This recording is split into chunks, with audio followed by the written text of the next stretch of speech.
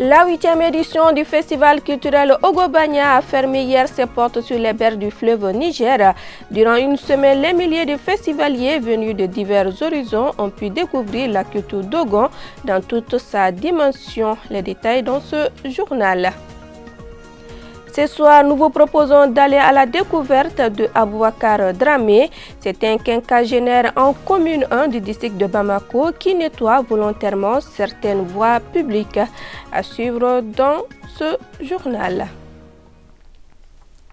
Merci de votre fidélité au programme de ORTM2. Mesdames et messieurs, bonsoir et bienvenue. Une semaine du donner et du recevoir. C'est ainsi que se résume la huitième édition du festival culturel Ogobanya qui a pris fin hier à Bamako. L'événement avait mobilisé de nombreux festivaliers venus du Mali et de la sous-région. Le thème était les cultures locales à l'épreuve de la mondialisation, les formes de résilience des communautés. La cérémonie de clôture a été présidée par le ministre en charge de la jeunesse et des sports en présence de plusieurs autres personnalités. Samasanogo. La huitième édition du festival culturel Ogobanya a fermé ses portes ce dimanche au bord du Djoliba. Des milliers d'artisans et d'hommes de culture y ont pris part. Occasion de remettre des prix à des participants. Tout juste établir un bilan de satisfaction. Dieu merci, tout ce que nous avons prévu a pu se réaliser. En ces jours, euh, un événement de cette taille, ce n'est pas évident de pouvoir atteindre tous ces objectifs. Mais euh, réellement, nous rendons grâce à Dieu. Tout s'est bien passé et toutes les activités programmées ont pu se réaliser à 100%. Au-delà, vous savez, comme chaque année, chaque fois que commence, même pendant l'événement, beaucoup de sollicitations viennent se greffer. Et même cela, nous avons autant que possible pu répondre même à ces nouvelles sollicitations qui n'étaient pas prévues, mais nous avons pu répondre et les intégrer pour le déroulé de ce festival. Et sincèrement, en tant qu'organisateur, nous ne pouvons être que satisfaits. La cérémonie de clôture a été agrémentée par des chants et danses. Et la prestation que vous venez de voir a complété la prestation des masques que vous avez vus hier. Nous avons des sociétés secrètes, des sociétés qui sont vraiment des, des, des entités qui sont très très sacrées pour nous. La société des masques, la société des circoncis, c'est la société des initiés. Et c'est dans la bouche des initiés qu'on avait mis des souhaits à faire à Obagna, à ce festival. Si avec les masques on avait fait les mêmes souhaits, on demande aux circoncis aussi qui sont devenus des hommes de brousse, qui sont appelés aussi des hommes de brousse comme la société des masques, euh, pour leur donner la chance de souhaiter la bienvenue d'abord par les masques et puis le bon retour par nos circoncis. Des visiteurs ont apprécié le déroulement de cette édition. Le Eurobagna, c'est la huitième édition. Ça commence par la culture Dogon, mais c'est très diversifié. En général, c'est la culture malienne et africaine. Donc, euh, l'Afrique est le berceau de la culture, la culture, la primitivité que beaucoup de gens ont oublié. Le festival, vraiment, nous pensons que c'est une très bonne initiative. Nous sommes tous contents. Nous sommes tous là, vous voyez bien. La fête est très belle et c'est au plaisir de voir que ce n'est pas seulement les Dogons qui sont invités à ce festival, et que c'est un festival international pour tout le monde entier. Ce festival, quand même, ça a été très bien passé. C'est fait un plaisir pour tout le monde de découvrir le pays Dogon ici à Bamako.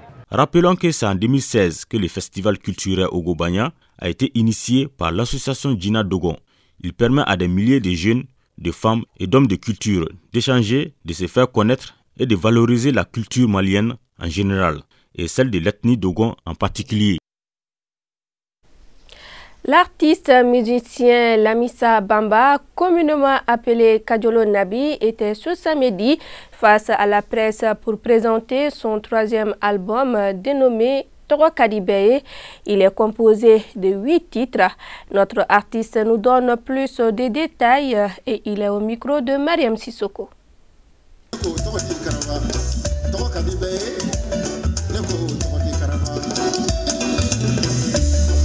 O ma dal lajɛrɛ kun tɛ ye n ye album kura dɔ bɔ lajɛrɛ kun tun bɛ o de kan ka na nga dɔnkiliw ɲɛfɔ mɔgɔw ye n y'a bɔ miiriya mic la album tɔgɔ ye ko tɔgɔ ka di bɛɛ ye L'objectif de cette rencontre était de présenter mon nouvel album.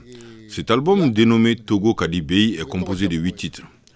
Pourquoi ce nom Togo Kadibei Parce que j'ai remarqué que les gens aiment se faire voir, que ce soit en bien ou en mal. Tout le monde aime le nom, mais je pense que ça doit être un nom digne. Je lance un appel à tout le monde de nous aider, car ce n'est pas facile maintenant, surtout chez nous les artistes. n bɛ bɛɛ de fo an an mun bɛ dɔnkilida la ne a tɛ se ka dabila ni sɛgɛ b'a la an bɛ kuraji de ta ka tɛmɛ n'an ka baara ye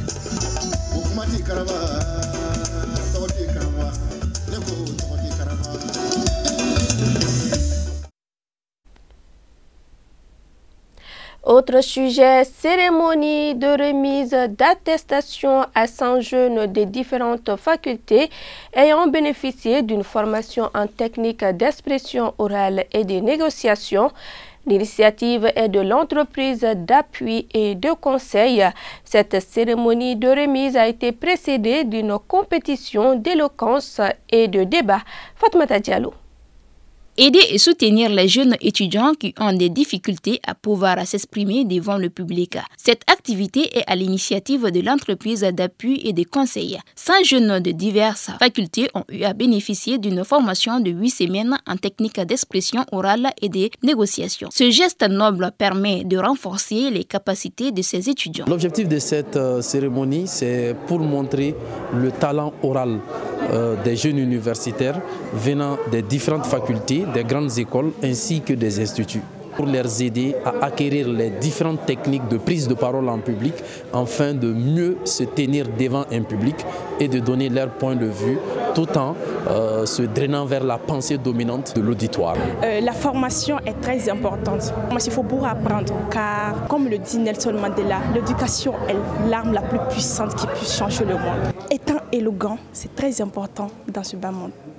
Donc, je fais appel à tous les étudiants de venir se former parce que pouvoir parler en public n'est pas du tout facile.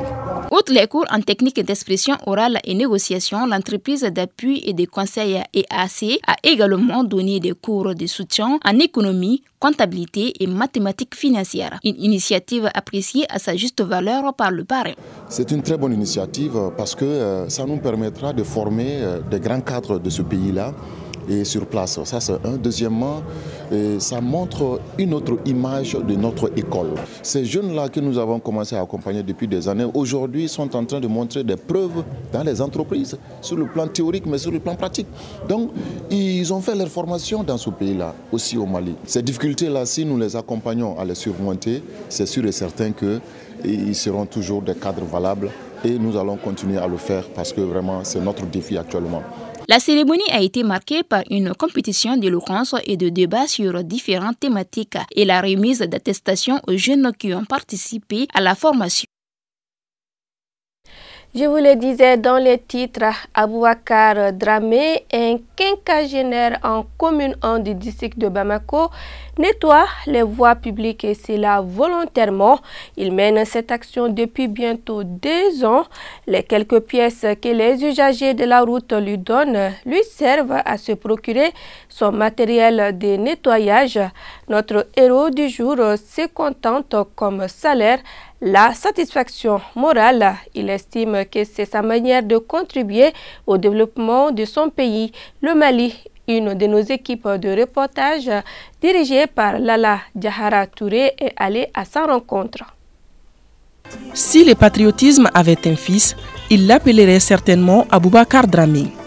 Âgé de 52 ans, père de cinq enfants avec deux épouses, M. Dramé est un citoyen qui, de son initiative, a décidé de nettoyer les voies publiques de la capitale et cela gratuitement.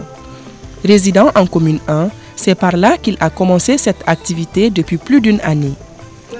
Comme seul outil de travail, ce balai est cette barre de fer qui lui permet de signaler aux usagers qu'il est à l'œuvre. Il choisit les voies qui lui paraissent les plus insalubres. Boubacar Dramé travaille en moyenne 10 heures par jour avec deux pauses prières. J'ai commencé ce travail l'année dernière vers le marché de Boulkasumbougou. C'est par ma propre volonté. Personne ne m'a incité à faire cela. Actuellement, je n'ai pas d'autre métier que celui-ci. Tout le monde est conscient que les voies publiques sont sales, mais personne ne réagit. Selon ceux qui le voient à l'œuvre, c'est un homme qui mérite d'être encouragé sur cette lancée. J'habite non loin de là, vraiment. Depuis qu'il a commencé cette activité, l'alentour de notre maison est devenu propre. Il travaille chaque jour que Dieu fait.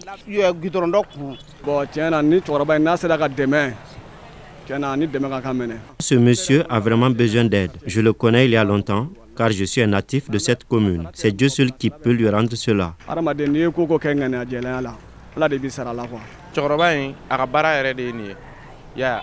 Il peut travailler plusieurs semaines d'affilée sans se reposer. C'est vraiment un acte noble et il mérite d'être épaulé.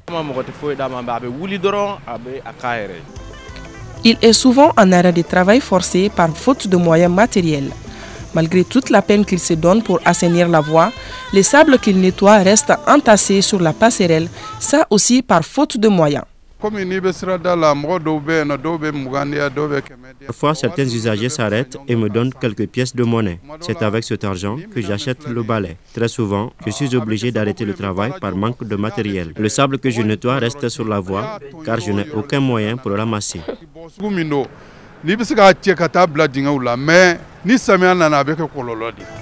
Ces dignes fils de la patrie ne demandent qu'à être épaulés afin de lui octroyer les moyens matériels nécessaires pour qu'il puisse jouer pleinement sa partition dans la construction du Mali nouveau.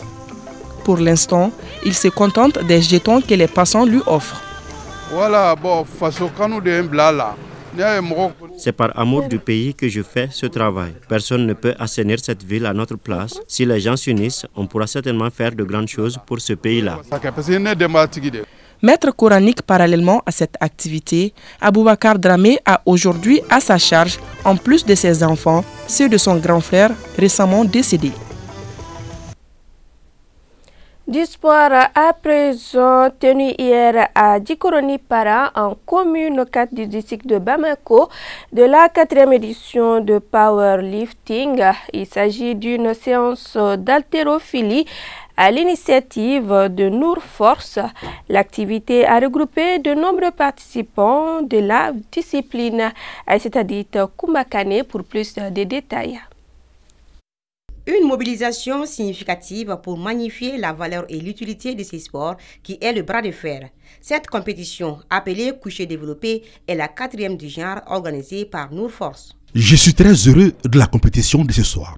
Cela nous permet non seulement de se rassembler, mais aussi de faire connaître cette discipline que nous pratiquons. Nous voulons, à travers ces compétitions, montrer aux gens que les gros bras ne sont pas des délinquants. Quel qu'en soit le genre, l'espoir est toujours utile pour l'homme, raison pour laquelle des personnalités sont venues soutenir l'initiative. Je salue vraiment l'initiative à encourager ces jeunes car ils sont aussi des chefs de famille et vivent de ce travail. Je représente mon mari à travers ce micro. Je salue et encourage l'ensemble des pratiquants. Je demande aux jeunes de pratiquer le sport. Auparavant, une minute de silence avait été observée en la mémoire d'un pratiquant décédé en 2022. Vivement la cinquième édition. Point Covid à présent sur 182 tests réalisés, 0 cas positifs dont 0 cas non communautaires, 2 guéris, 0 décès. Trois personnes sont sous traitement pour vous protéger et protéger les autres. Suivez les mesures de prévention et faites-vous vacciner. C'est tout pour cette édition. Grand merci à vous de nous avoir suivis et bon début de semaine en compagnie de nos programmes.